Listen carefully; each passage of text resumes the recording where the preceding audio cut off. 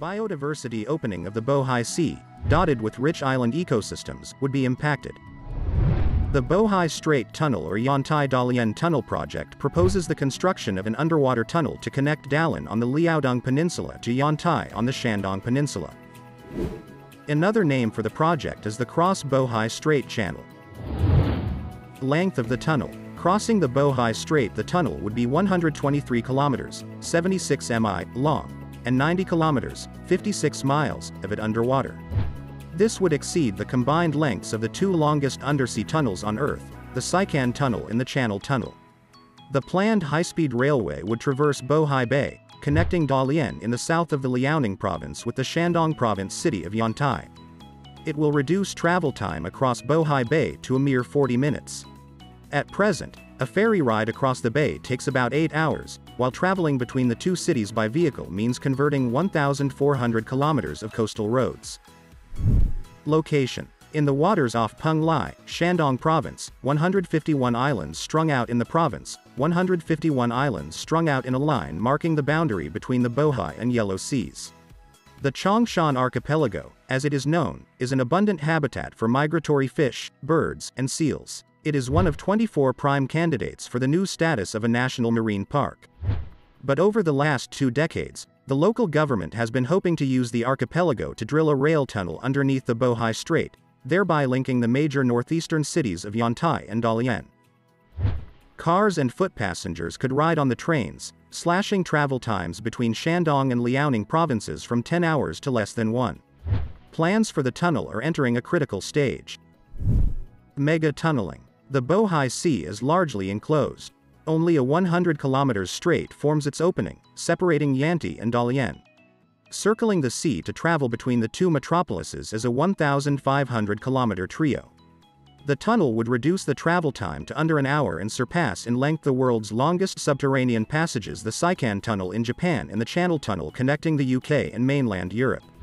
Lu Dadao, of the Chinese Academy of Sciences, has said that a tunnel across the Bohai would transform transportation in China. By avoiding the hubs in Beijing and Tianjin it would relieve pressure on railways between Beijing and Tianjin, Beijing and Shanghai, and even Beijing and Guangzhou. Du Yanliang, of the Chinese Academy of Engineering Sciences, told the paper that the tunnel would also better connect the old industrial area of the northeast, the Bohai Economic Area, and the Yangtze Delta. Since Yantai Deputy Mayor Liu Xinhua first proposed the idea in 1992, more than 10 years of studies have been carried out. In 2011, the State Council called for further research as part of Blue Economic Development plans for the Shandong Peninsula, thus giving the tunnel national strategic importance. Then in 2012, the State Council commissioned the Chinese Academy of Engineering Sciences to investigate provincial plans for the 13th Five-Year Plan, 2016 to 20, also covered preparatory work on the project. Construction would be a costly, difficult, and environmentally risky undertaking, hence the 27-year delay. Preliminary studies for the Seikan and Channel tunnels were similarly long processes. Various questions have to be answered aside from economic viability. Should it be constructed? Can the risk of earthquakes be mitigated? Sun Jun, also of the Chinese Academy of Engineering Sciences, had put the initial project budget at 300 billion yuan, 44 United States dollars billion, more than the 200 billion paid for the Three Gorges Dam in the construction time of 15 years. But commentators have pointed to the Hangzhou Bay Bridge, which cost 20 billion yuan rather than the expected 11.8 billion. An important ecology. There is another, greener vision for the Bohai Strait. Since Xi Jinping got behind the idea of the ecological civilization in 2012, conservation has become a much higher priority in China. That sped up the building of a national park system, intended to increase the amount of protected land in China and consolidate the fragmented and overlapping existing system. In 2015, the State Council approved trails of national parks in nine provinces. In 2017, it published overall plans for establishing the system. Huge land-based national parks were planned to protect animal habitats and ecosystems. Meanwhile, the State Oceanic Administration, now part of the Ministry of Natural Resources, identified two dozen possible sites for marine parks, including the Changshan Archipelago. It is one of China's most important migratory birds, with almost one quarter of all China's bird species passing through. It is also a habitat and breeding ground for the spotted seal, a Class II protected species, protected by the government. Though only 56.8 square kilometers in size smaller than the area enclosed by Beijing's Second Ring Road, the islands are already home to a marine park, geopark, forest park, and bird reserve.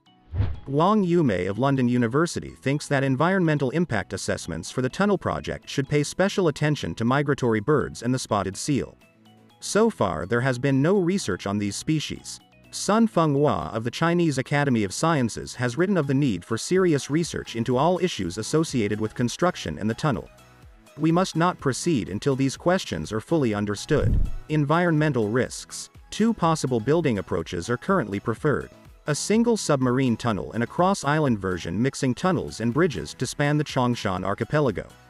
Construction on the islands will be necessary whichever approach is chosen, as the single tunnel will require vertical shafts to be dug on two islands to facilitate excavation and ensure safe operations.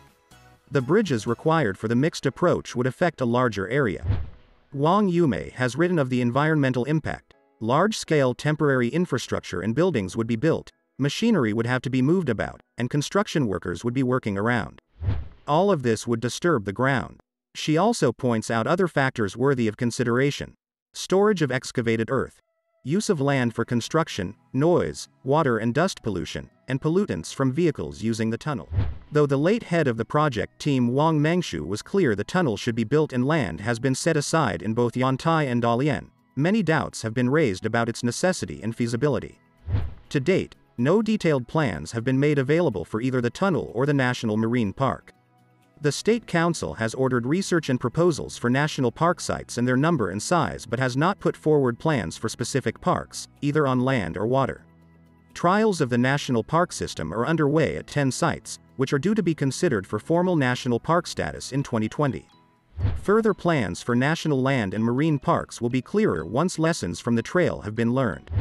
There is still a long way to go before the tunnel construction starts. Detailed surveys of local geology and hydrology have only been approved. That will be followed by feasibility and cost studies, and finally a go-ahead from the State Council. An environmental impact assessment will also be needed. The state has not yet fired the starting gun in either case. Wang Yamin, a professor at Shandong University, thinks that both the tunnel and the park are needed, but more data and analysis are required to see if they can coexist. The tunnel needs to be approached very carefully with rigorous formal analysis, with wildlife considered and expects involved, he said. The tension between the environment and development is an old one, but development is central. Environmental protection is necessary to ensure that development is sustainable. Future updates. By 2030, authorities expect 29,100 vehicles and 126 OO passenger trips to crisscross the bridge daily. But who gets to travel the bridge now? The priority appears to be trade and tourists. Goods manufactured on the western end of the Pearl River Delta can now reach the container port and international airport of Hong Kong in 45 minutes, and a tourist landing at Hong Kong International Airport now has another option to reach Macau instead of taking a ferry. All of the vehicles that will be allowed on the bridge, including trucks, tour buses, shuttles, and select private cars, will require permits from all three jurisdictions. All three jurisdictions will also require passengers to clear immigration and customs.